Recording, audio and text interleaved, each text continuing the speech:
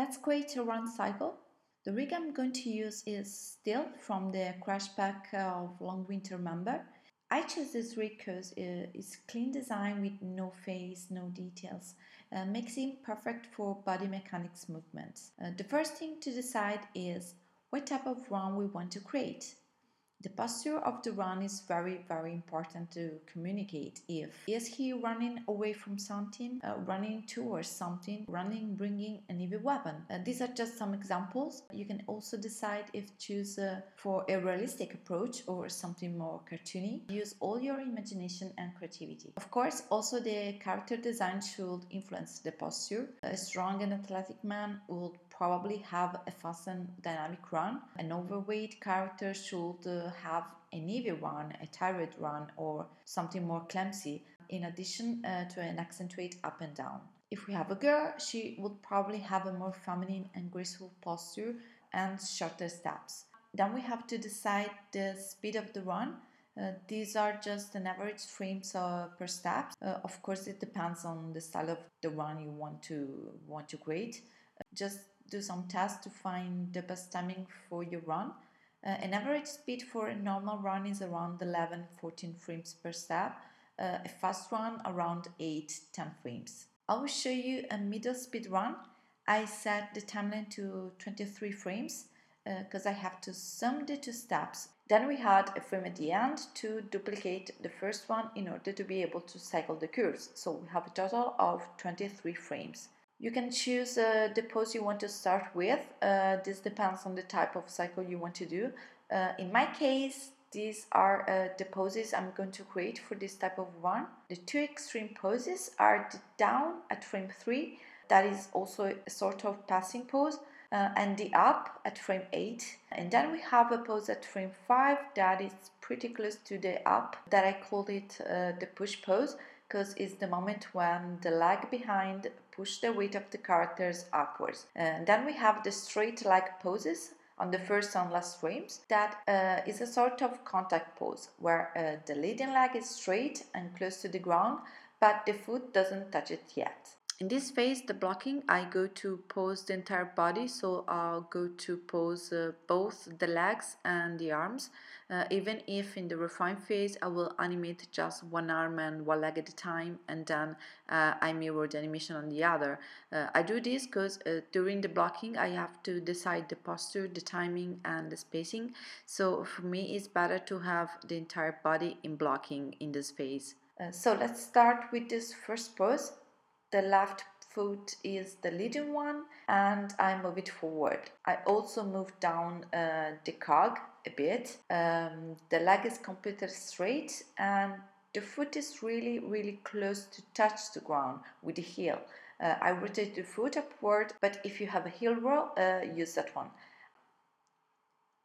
The right leg is behind in the air the foot point down back, uh, the leg is a bit bended. Uh, to give more strength and power to the run, I also uh, rotate the cog uh, toward the leading foot. Now let's move to the arms.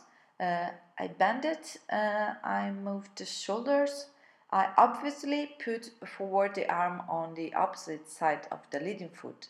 So in the typical run pose, more or less with a 90 degree rotation, and I also pose the hand curved in a fist. For the head, I move it forward also with the neck.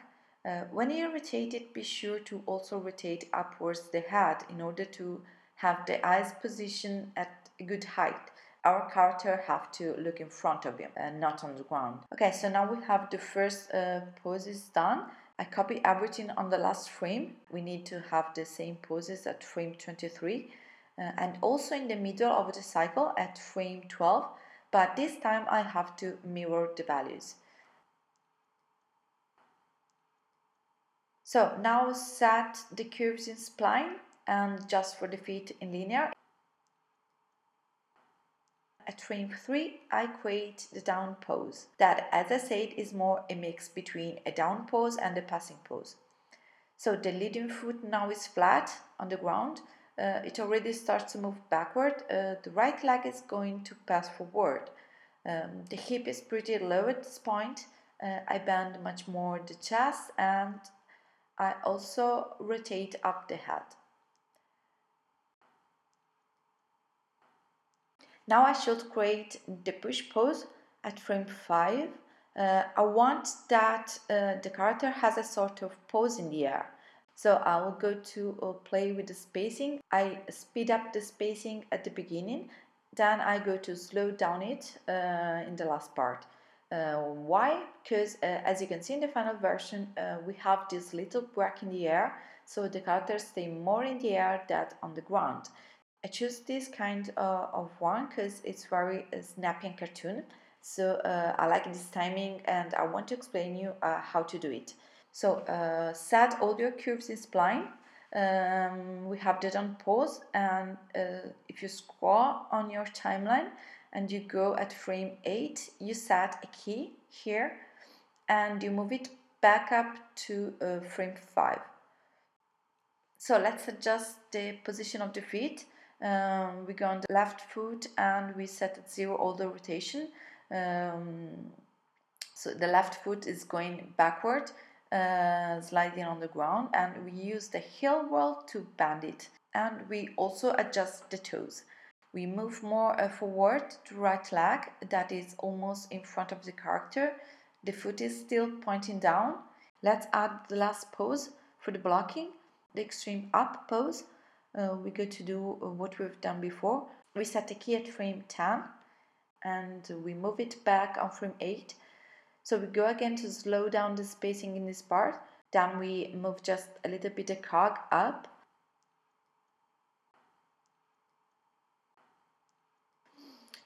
Okay, we, so we have uh, all the main key poses. Uh, let's copy and mirror them on the other step. So now we can convert all the tangents in stepper mode and we create the first play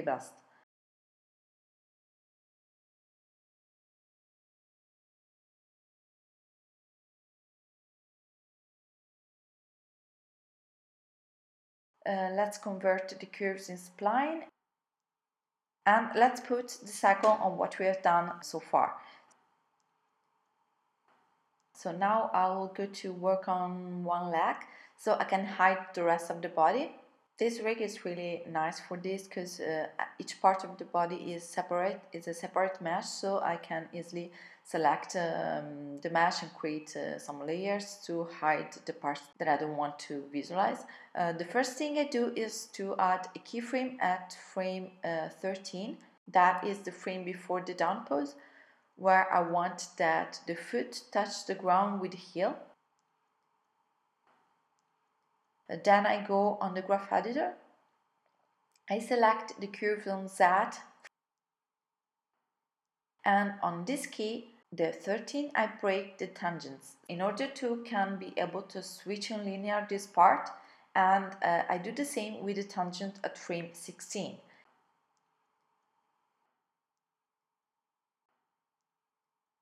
Now I can delete the key at frame 14 because I don't need it. So now we have this part from frame 13 to frame 16 in linear and this is where the foot touches the ground and I can keep this part uh, when the foot is in the air in spline so that the movement is well smooth. Uh, let's go back to the view scene. I work in the side view now. So I go to polish all these poses. I adjust the foot rotation, especially when the foot is in the air. And don't forget to animate the toes, uh, the final part of the foot. Uh, this helps to make the movements more fluid and realistic. Offset the toes animation of one frame compared to the animation of the foot. So these are uh, the main poses when the foot touches the ground and when it leaves the ground. Let's move in the front view because I want to animate the rotation left and right. I rotate the foot a bit externally in the straight leg pose but we immediately uh, rotate it at zero when it's flat on the ground. And then when the feet is again in the air, we go slowly uh, to rotate it externally again. Keep attention to uh, knee position. Use everything you need to avoid a huge pop that could make your run look odd. So use uh, the stretch of the leg, use the formers, use knee control, also, uh, for the feet arc, use motion trail to adjust the curve. Uh, to do that, you select the feet control and in the animation tab go to animate create editable motion trail. Then in the show panel select motion trails. So in this way if you keep selected the control of your foot uh, and you scroll in the timeline you can see uh, the curves of your foot and you can adjust it to make it more fluid as possible so this is my run cycle and this is uh, the curves of my feet so as you can see, we have a part where the feet create uh, straight curves because uh, they touch the ground. But when they are in the air, we have a smooth, nice curve. We polish the curves in the graph editor and let's see the result.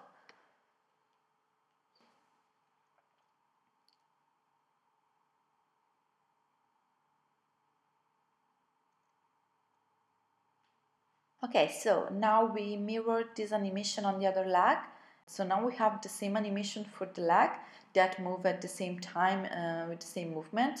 Uh, so we need to uh, move forward uh, the animation of the right leg in order to have an alternate movement of the feet. So I select all the curves of, of the right leg and the knee control and I move them forward in the timeline up to frame 12. So now the feet moves properly, but now my cycle is longer than 23 frames because the curves of the right leg starts from uh, frame 12 to 34. Uh, so I want to have all the keys in the range of 23. So I have to adjust these curves. Uh, I keep selected the right leg and knee control and I open the graph editor. I go on the timeline at frame uh, 23 and I create a key. Then in the graph editor, I delete the last key because it's just a duplicate of the first one. I select all the keys starting from frame 23 and I drag them in the first part of the cycle at frame 1. I duplicate the key of frame 1 to uh, frame 23 so now my cycle works perfectly and we just need to readjust the tangents uh, at the beginning and the end of the cycle in the graph editor. So now the legs uh, animation is in the range of 23 frames. Let's visualize the chest um, and I go to polish this part as well. I offset the rotation of all this control of uh, two frames. I polish the curves.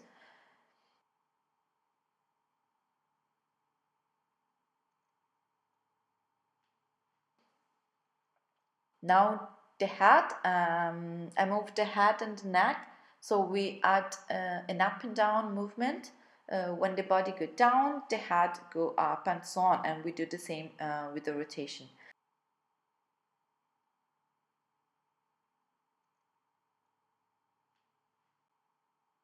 Uh, let's show uh, one arm, uh, the right one. Let's offset the curves of the forearm and the end of the wrist and I clean the curves.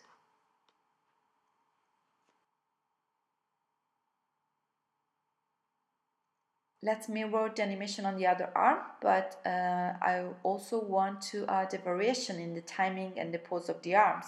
Uh, I want that they move a bit differently, so I offset a bit the curves of one, two frames and I also uh, change a bit the pose. So I play with the curves in the graph editor. So I change uh, the rotation of the arm compared to the right one. So this is the final result.